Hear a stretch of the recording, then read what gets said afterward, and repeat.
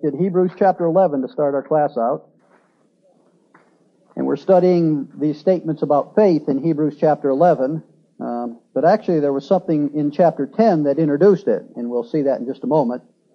In Hebrews chapter 11, it says in verse 1, it says, Now faith is the substance of things hoped for, the evidence of things not seen.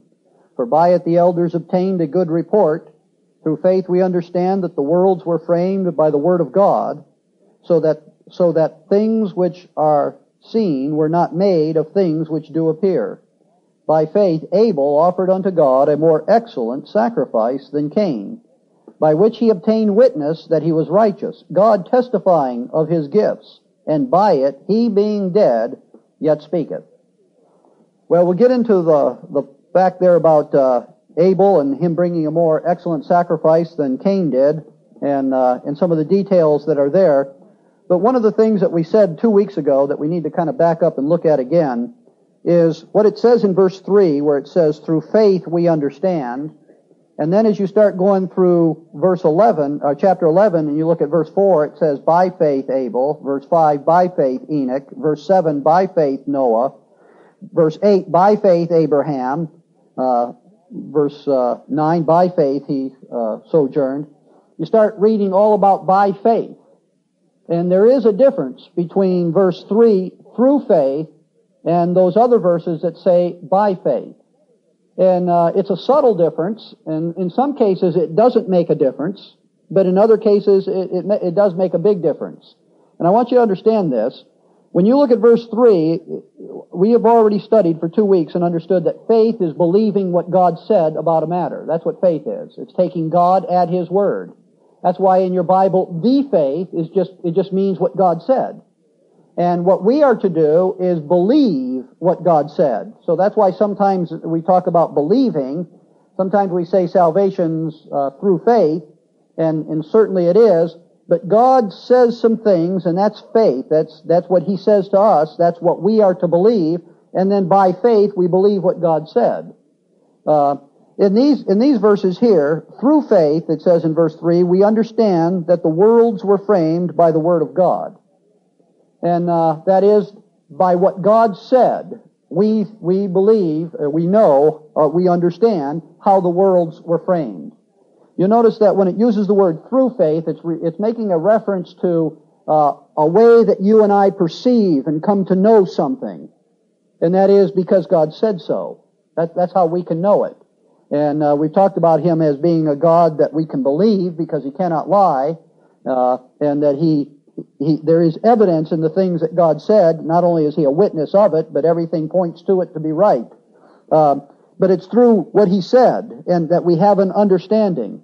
But then when you read verse 4, and it says, By faith Abel offered unto God, by faith, now Abel is acting out. There's through faith we understand, and then by faith we act on it. And there, there's a difference between those two things. Through faith coming to understanding, and then by faith acting out on it. I'd like you to compare two verses in Paul's epistles. Get Ephesians chapter 2, and at the same time, get uh, 2 Corinthians chapter 5. Ephesians chapter 2 and 2 Corinthians chapter 5. Now, Ephesians chapter 2, the Apostle Paul is talking about our salvation. He's actually explaining why it is that God is saving us by grace today. And, uh, and I think that's extremely important. We touched on this on, uh, on Tuesday class, and, being a smaller class, we could ask some questions and get everyone on the same uh, wavelength, but I'm not going to quite do the same thing. I want you to look at verse 6 of Ephesians chapter 2. And it says, and hath raised us up together and made us sit together in heavenly places in Christ, that in the ages to come he might show the exceeding riches of his grace in his kindness toward us through Christ Jesus. God's purpose for saving us today and his purpose for seating us in heavenly places in Christ is so that in the ages to come he's going to show something. And, uh, and I always relate this to an auto show.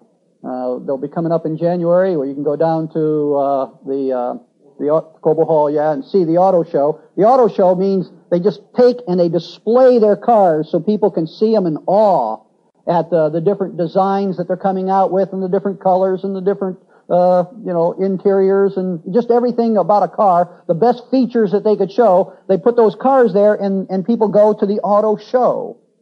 Well, God's got a purpose for you and me, and it's the places in heavenly places in Christ, so that in the ages to come He might show the exceeding riches of what? His grace. How rich in grace He is. now, now that is wonderful because God's going to show how rich in grace He is, but that means to show how rich in grace He is, grace has to do with undeserved, unmerited favor. How kind God is to save people like you and me who deserve to be in hell. That's what it means. There'll be no glory for us up there, only in the sense that we'll glory in God as well because of His grace toward us. We're glad we're there. And what a, what a, what an opportunity to be an example of God's grace that God's going to show to the angelic hosts of heaven the exceeding riches of His grace toward us and, and of His kindness toward us. Because those angels know how little we deserve to be there. We're all sinners, and we don't deserve eternal life, and we deserve to be eternally damned, and yet God, through the cross of the Lord Jesus Christ, took care of every last one of our sins and even after we get saved, all the sins that we get, we've done after we're saved are covered by the blood of Jesus Christ, so that when we get to heaven, we are going to be a trophy of God's grace. And that's why it says in verse 8, and I, I said all that just so you'd realize why it says this in verse 8, for by grace are ye saved through faith, and that not of yourself, it is the gift of God. For by grace, that's why we're saved by grace. If we weren't saved by grace, watch how these verses say this. For by grace are you saved through faith, and that not of yourself. It is the gift of God, not of works, lest any man should boast. If salvation was through good works that we do, religious activities that we do and have fulfilled and, and achieved in our life, then we would be put in heaven and we'd be an example of our goodness and our efforts and our religious works and we would get the praise instead of God. But to make sure there is none of that, none of that is involved in your salvation. Your salvation is a gift that's received through faith, according to that verse.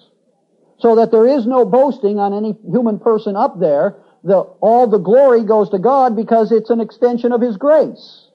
And that's why we're saved by grace. When God wanted to display Himself and wanted people to know about His justice and His vengeance, He gave the world the law. And there in the law you see the justice of God, and you see how God has to avenge evil and judge. But today God's purpose in grace is to show to the world His grace. And, and, and not just to show it now, but to show it in the ages to come by placing us there. Throughout the time, God has done different things in different dispensations that He might reveal something about Himself. And today He's revealing His grace. And so everything is by grace. Now, what I want you to see in the verse as well is not only is that salvation is by grace through faith, uh, and, and, that faith has to do with the, the finished work of the Lord Jesus Christ. It says, "For by grace are ye saved through faith." Now, it doesn't say, "For by grace are ye saved by faith." And uh, I think it was back when I was writing Dictionary of the Gospel. I, I had said something about us being saved by faith, and if I'm right, it was uh, Dave Kasner who said, you know, the Bible says through faith. It doesn't quite say by faith. And I thought about what he was saying, and I looked at that and I said, you know, I, I'd be better off just putting the way the Bible says it. And now I'm really glad because there's something different between through faith and by faith. By faith, you act on something. Through faith, you come to understand something. And what God is, since salvation isn't a work, you're not acting on anything except this that, that the only action that you do is an act of believing in the heart. You don't, you don't, you don't move a muscle in this body to be saved. What you do is through faith, that is through the message of the cross of the Lord Jesus Christ and the perfect uh, salvation that He has supplied by dying in our behalf on that cross and being buried and rising again from the dead, that when we hear that message of truth, it comes to us through faith, we just simply believe it and we're saved. Salvation is through faith. Now that's how you're saved. But I want you to compare that to 2 Corinthians chapter 5 And hopefully you realize something else in this world.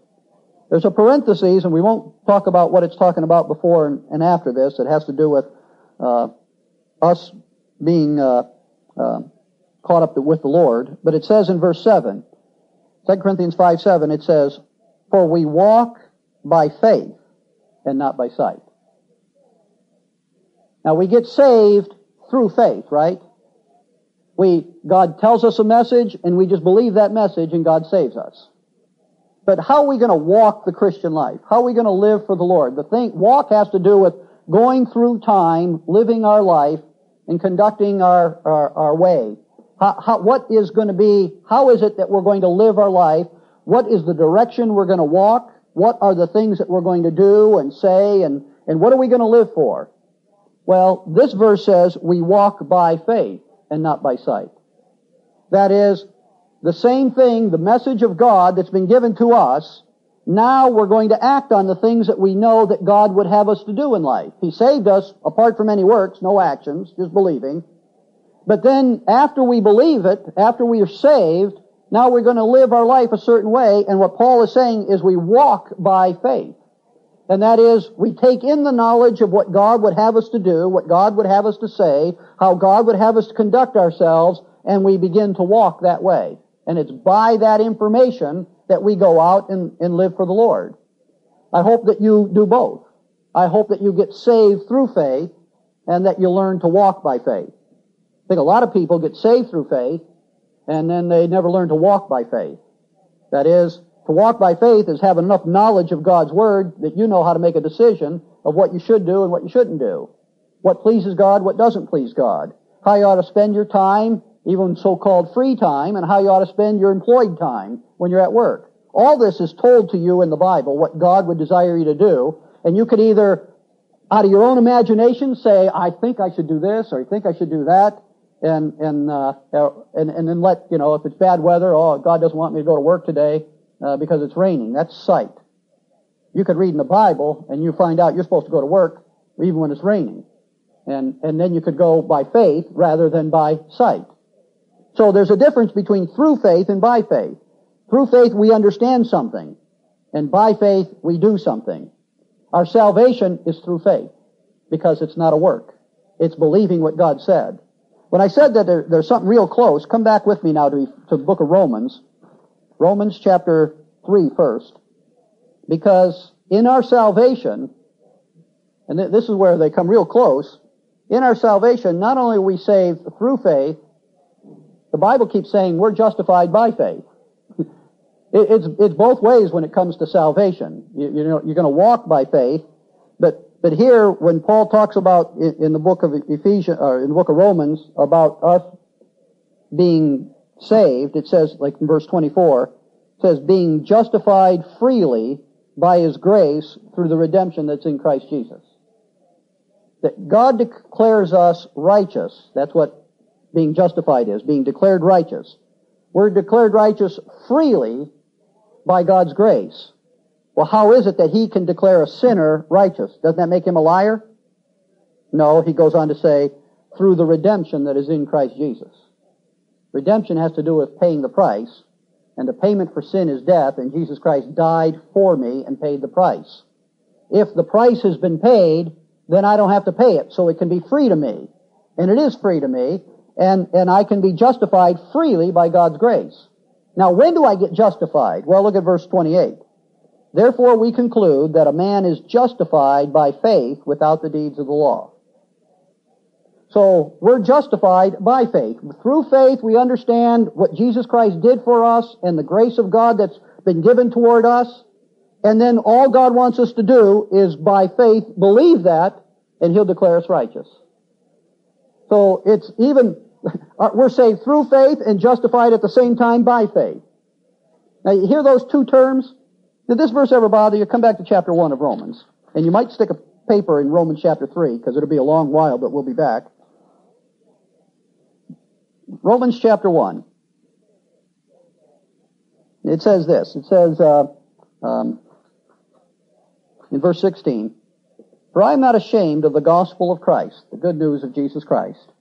For it is the power of God unto salvation to everyone that believeth, to the Jew first and also to the Greek. The good news of the gospel of our salvation, the death, burial, and resurrection of Jesus Christ for our sins, Paul said he's not ashamed of it because that's the power of God to save. Believing that message, it's the power of God to save everyone that believeth. As the verse says, uh, the power of God unto salvation uh, to everyone that believeth, to the Jew first and also to the Greek. For therein is the righteousness of God revealed from faith to faith, as it is written, the just shall live by faith. And that, there's different things in the Bible that, that puzzle me for years. And you know, you try to figure it out from faith to faith. Now I've heard so many explanations, I've read so many commentaries on that. I'm thinking from faith to faith, what in the world does that mean? Well, I think I have a little bit better idea what that means now. My faith comes from who? It comes from God. God said it. It comes to me from God's Word and tells me how I'm saved. But what does God tell me in His Bible that I must do to be saved? How must I act upon that salvation that He's offering me? No, no, no, no, not walk by faith. I'm justified by faith. Now, walking by faith is how you live. I'm saying, when I, when I shared you those two verses, I want you to know that after you're saved, then you can walk by faith. And you ought to walk by faith. But I'm just dealing with salvation here. This is what we're, Paul's talking about us being saved, and he says, uh, that, uh, for therein, in the gospel is the righteousness of God revealed from faith to faith, as it is written, the just shall live by faith. And I'm thinking that the idea from faith to faith is from faith, that is God giving me the message, to faith, and that's what I do, is I put my faith in His message. It's His faith to me and my faith in what He says that saves me, that declares me righteous. That's why the last part of that verse says, the just shall live by faith. Today we're justified by faith, right? Faith in what? The gospel that God gave to me. From faith to faith. God gives it to me, but I'm not saved until I believe it, and when I believe it, then I'm saved. Now, I, I want to say something clear here, Phil, um, before I take a question. This is different for us today than it was in previous ages. Because in today, in the age of grace in which we live, if I, Uh, I'll put this, God's message to me that He is, the faith that He's giving me to believe is that salvation is a free gift from Him and not of works, and that if I'll believe that message, He will save me. So when I believe it, then I become saved.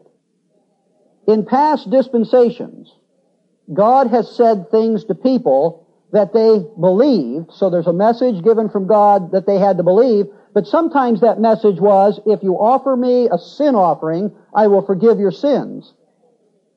And so they weren't just saved from faith and by faith alone. They were saved by faith. There's faith there. God told them what to do. But then by faith they had to go and do what God said. Now this, that, that's different.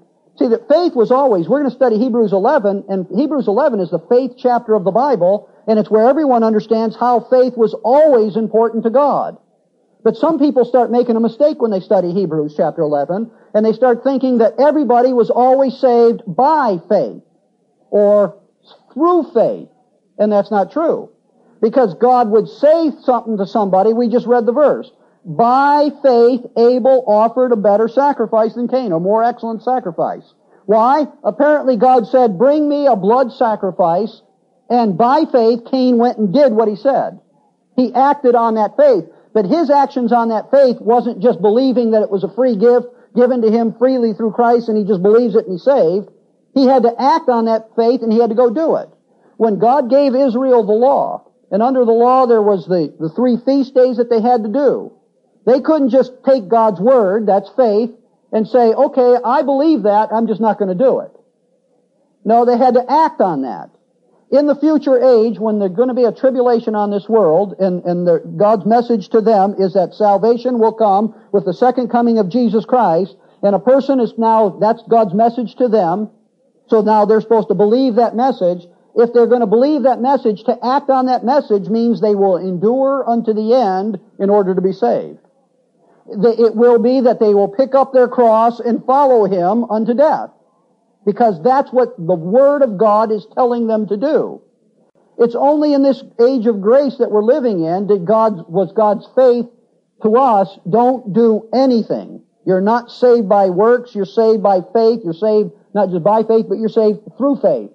Hear what I have to say and believe it and I'll save you. And, and the reason it's that way today is because of what we just expressed in the book of Ephesians. And that is that God's purpose for us is to seat us in heavenly places as a trophy of His grace. Therefore, we're saved by grace through faith and not of ourselves. It is the gift of God, not of works, lest any man should boast. To make sure that everything is excluded, you, you can never say, like we're going to read through the book of Hebrews, that by faith I offered a more excellent sacrifice. By faith I built an ark. By faith I left my land and, and moved to another land for God. Hopefully you'll learn to walk by faith, but in your salvation, in your relationship to God, you're not going to do something by faith that's going to please God and it's going to be a work.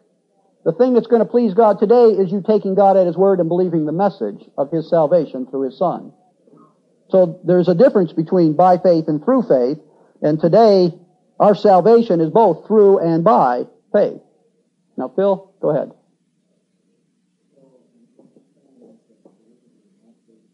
The message that God gave, we'll call it message.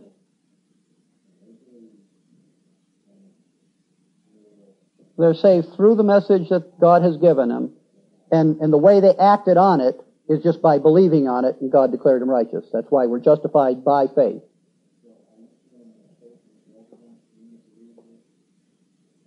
Right. What? Yeah. And what I'm saying is, is it's not resident in the believer. It's resident in this book. It's resident through preaching of the gospel. Either a person is reading this book, or they're reading a book about the about Jesus Christ, or someone is telling them about Jesus Christ, and that's the faith coming to them, and it's going in their ears. Now they have to make a decision what they're going to do about that. Are they going to believe it or are they just going to ignore it? When they believe it, they've acted on that faith.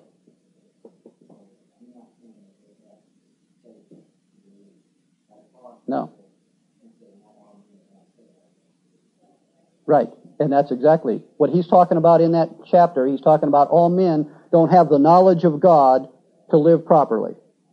But that's because this has to get into us. And a person who's lost, who doesn't know Jesus Christ as a Savior, it's not in them to know it.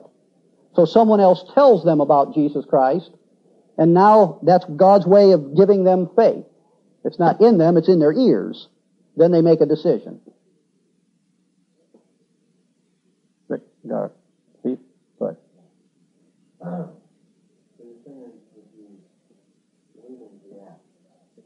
When we go through Hebrews 11, that's why I'm saying this. When you go through Hebrews 11, it's all actions there. Today, the way, the, how we act on the faith that God gave us is faith, belief.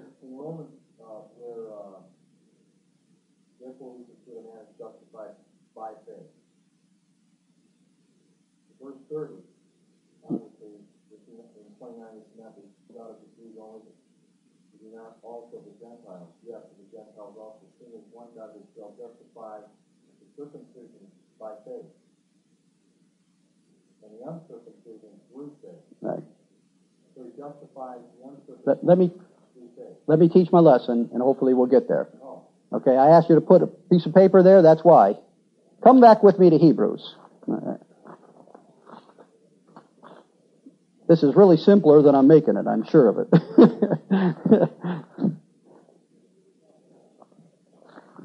Hebrews chapter 11, and, uh, boy, I went the wrong way myself. Hebrews chapter 11. We've already pointed out the verses that say by faith. I want you to back up into verse, chapter 10. What led into this, the reason that chapter 11 is here, is when he was concluding in chapter 10, uh, the writer made this statement. He says, uh, he says in verse 35, cast,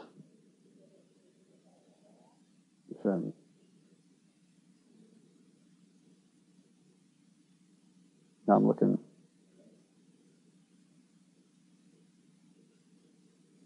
I might have started reading too low there. Um,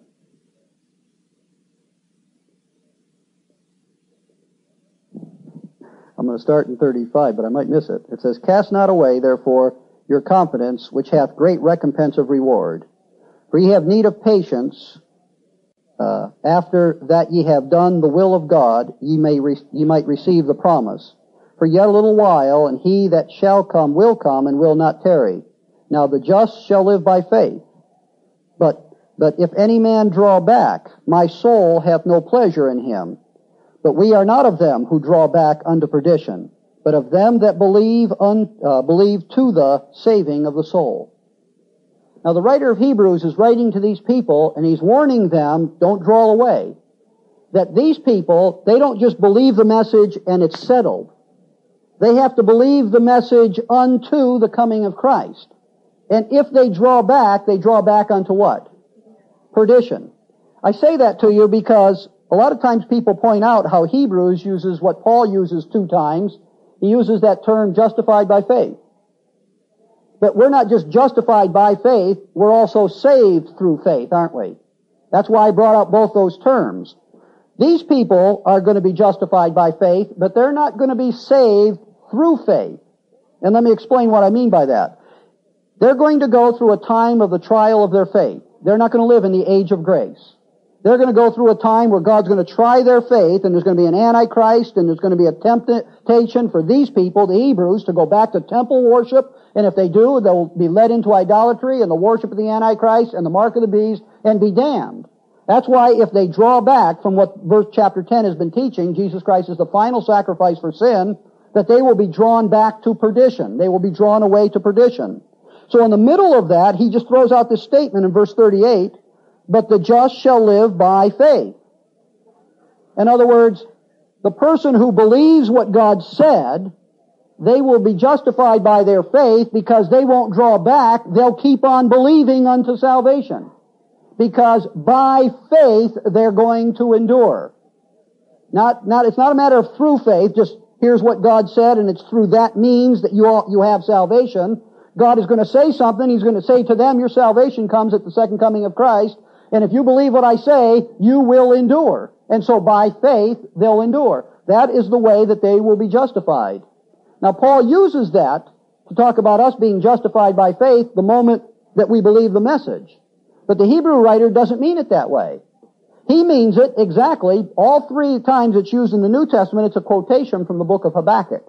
And I want you to see something from Habakkuk. So go back there. That's the book right after Nahum and before Zephaniah. So you have no problem finding it. Just fool around back there after Daniel, uh, Jonah, Micah, Nahum, Habakkuk. Habakkuk. Now, now watch a survey of Habakkuk. I, now hopefully I can help you understand this, even this book. This is quite interesting what Habakkuk's going through.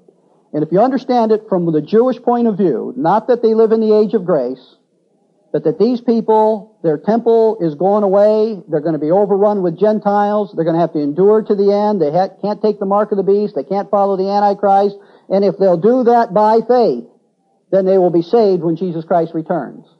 Now that's the message of Habakkuk. Habakkuk chapter 1, verse 1 says this. It says, The burden which Habakkuk, the prophet, did see. O Lord, how long shall I cry, and thou wilt not hear? even cry out unto thee in uh, of violence, and thou wilt not save. Why dost thou show me indi- uh, iniquity and cause me to behold grievousness, grievance? Uh, for spoiling and violence are before me, and there are the, and, and there are that rise up strife and contention. Therefore the law is slack, and judgment doth never go forth. For the wicked doth compass about the righteous, Therefore, wrong, uh, wrong judgment uh, proceedeth. So he sees nothing but evil taking over, and he's calling out to the Lord, and the Lord's not doing nothing about it. So Habakkuk, as he's looking at this, he, he, he can't understand some things, and God's going to respond to him in verse 5. It, in, in, uh, in verse 5 it says, Behold ye among the heathen, and regard, and wonder marvelously. For I work a work in your days, which ye will not believe, though, though it be told you. For lo, I raise up the Chaldeans, that bitter and, haste, and hasty nation, which shall march through the, the breadth of the land to possess the dwelling places that are not theirs. In other words, Habakkuk, you think you see some bad things now? You're about to see some things you're not going to believe, but I'm going to tell you. I'm going to let Nebuchadnezzar and his army of the Chaldeans march right through Jerusalem and take it over. Now, he's going for, he thought things were bad already. Now they're going to get worse. Gentiles are going to conquer them.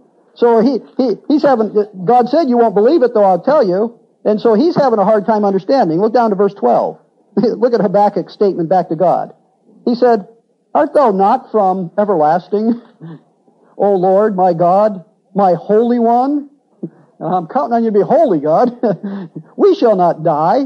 O Lord, thou hast ordained them for judgment. And, O uh, Almighty God, uh, thou hast established them for correction. Thou art of purer eyes than to behold evil, and canst not look on iniquity. Wherefore lookest thou upon them that deal treacherously, and holdest thy tongue when the wicked devoureth a man that is more righteous than he? Lord, I don't quite understand what you're going to do. This doesn't sound righteous. I mean, we might be bad, but the Gentiles are evil. And you're going to judge, you're going to let the Gentiles destroy people more righteous than them? So Habakkuk can't understand why God is going to do the things he's going to do. And, and so he's kind of questioning God. Look at verse, chapter 2, verse 1. He said, I will stand upon the watch, and I will set me upon the tower, and will watch to see what he will say unto me, and what I will answer when I am reproved. So we'll, he's going to wait for an answer from God, so for God to explain to him what's going on here. So it says in verse 2, the Lord answered me and said, Write the vision and make it plain upon tables that he may run that readeth it. For the vision is yet for an appointed time, but at the end it shall speak and not lie. Though it tarry, wait for it, because it will surely come, uh, it will surely come, it will not tarry. Now, now catch these words. It sounds like it's a long way off, doesn't it? But the whole thing is tarry for it. Wait for it to be completed. When it's completed, it'll be done, but you're going to have to wait for it. So that idea of tarrying till it's completed. Verse 4 says, Behold, his soul which is lifted up is not upright in him, but the just shall live by his faith. Now, there's something that's coming ahead. Now, we're into prophecy here. Something is coming ahead, and, and when it's all done, God's word will stand. So don't believe, don't think that God's word won't come true, but you better make sure you tarry. In other words, don't come short, don't draw back, go all the way through, tarry, endure to the end, and you'll see it. And, and then all of a sudden it begins to talk about a he in verse 4. His soul is not upright in him. And then it turns around and talks about another group of people, I believe. It says, but the just shall live by his faith. A person who is just will live by his faith. Why? Because what God told him in verse 3 is tarry.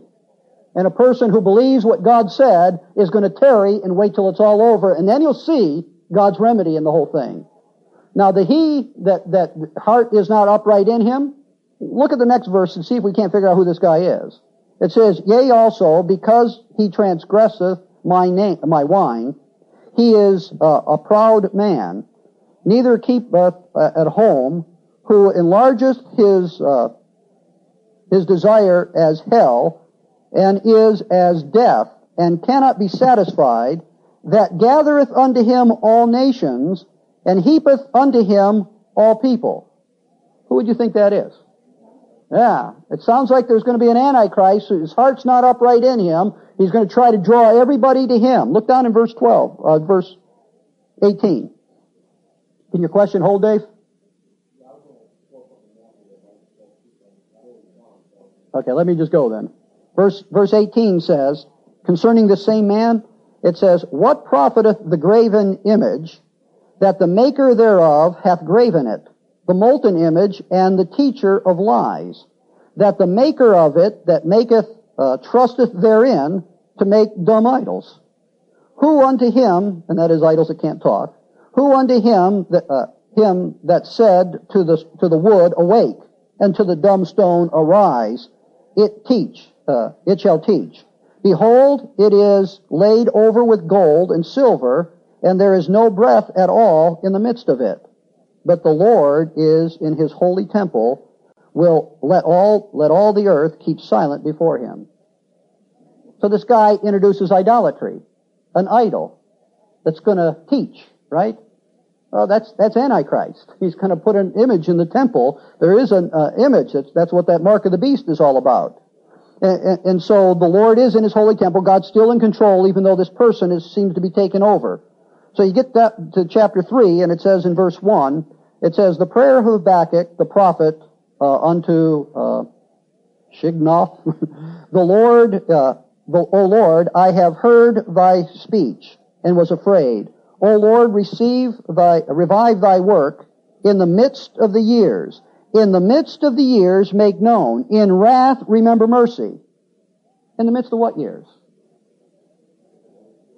You got seven years of tribulation. Right in the middle is when the Antichrist puts that, that temple, or that, that image in that temple. That's when the nation of Israel is going to come to faith.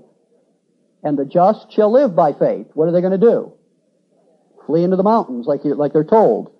So, so this is talking about in the midst of the years, those years that are to come. Now, you want to look at something interesting. I think you can learn the direction that Jesus Christ's second coming will take. Verse 3 says, God cometh from Teman, and the Holy One from Mount Paran, Selah. His glory covereth the heavens, and the earth was filled with his, full of his praise. And his righteousness was as the light, he had horns coming out of his hand, and there uh, was the hiding of his power. Before him went the pestilence, and burning coals went forth uh, at his feet. Uh, he stood and he measured, and you see him coming. Look down in verse 10. It says, The mountains saw thee, and, and they trembled. The overflowing of the waters passed by. The deep uttereth his voice, and lifted up his hands on high. The sun and the moon stood still in their habitation at, at the light of thine arrows that went, went and, and at the shining of thy glittering spear. Thou didst march through the land in indignation. Thou didst thresh the heathen in anger. Thou wentest forth for the salvation of thy people, even for the salvation of thine anointed. Thou woundest the head out of the house of the wicked by discovering the fountains unto the neck. Selah. Now isn't that Jesus Christ coming back and what does he ultimately do? Saves the nation of Israel. Habakkuk can't see what, God, I can't see you being judgment. Israel is bad, but you're going to let Babylon come through and wipe us out. I, I can't understand this. God says to Habakkuk, don't worry about it. Let me, let me help you understand something. And that is, you're going to see some things, and some, I'm going to let Babylon come through and wipe you out, but remember, tarry till it's over. The just will live by faith. So here comes this Antichrist. He's going to do all these cruel things. It looks like he's winning, drawing all the nations unto him. But then the Lord comes. And in his indignation, he comes through the land, and he devours the land, and he destroys the enemy, and he saves the nation of Israel. And that's when they're going to be saved. When Habakkuk says the just shall live by faith, it's not just believe the gospel of Jesus Christ and you'll be saved. The message that Habakkuk is saying is don't fall away when this man of sin, when you see evil taking over the world and you can't figure out what God is doing, you just wait. You tarry in faith till God comes through and brings the ultimate salvation that He's promised. That is being justified by faith in the book of Hebrews. That's the message of the Hebrew people. That's why when you're going to go all the way through chapter 11, it's by faith they did this, by faith they did that, by faith they did the other, because what he, the nation, what the book of Hebrews is telling the nation of Israel is that they're going to have to be justified by their faith. God will save Israel at the second coming of Christ. Until then, don't let your soul draw back unto perdition, but believe unto the saving of your soul. Now that's the message of the kingdom. It's the message of the, uh, of, of the prophetic program. But what's God's message for us today? It's the message of the cross. And by the cross, we're saved the moment we believe the message. We're not gonna shall be saved. We are saved when we believe the message. And that's why Paul, when he quotes that verse, he says, from faith to faith, as it is written, the just shall live by faith. Today, God's message to us is not a message of some great temptation coming that we gotta overcome. God's message to us is that Jesus Christ already paid the full work of our sins on the cross. When you believe it, I'll declare you righteous and give you right then everlasting life as a free gift because I want to magnify my grace in the heavenly places in the ages to come. Amen? Amen. Okay. Be thankful. Let's pray. Our God and our Father, we thank you for we thank you for this opportunity to share these truths, and we do pray, Lord, that uh, that there was some understanding and uh, and that we didn't confuse things. But Father, there is two different programs, and and how clear it is that some people's faith is going to have to carry them through to salvation, and some of us get saved in this age of grace. All of us get saved the moment we believe the gospel, because it's your gift to us. It's the magnification of your grace. We thank you that we live in such a time and pray that as we learn more about that, that we will uh, live it in our life, show it, uh, appreciate it in our heart, and uh, and speak of it often. Uh, we thank you now for this time again. In Christ's name we pray. Amen.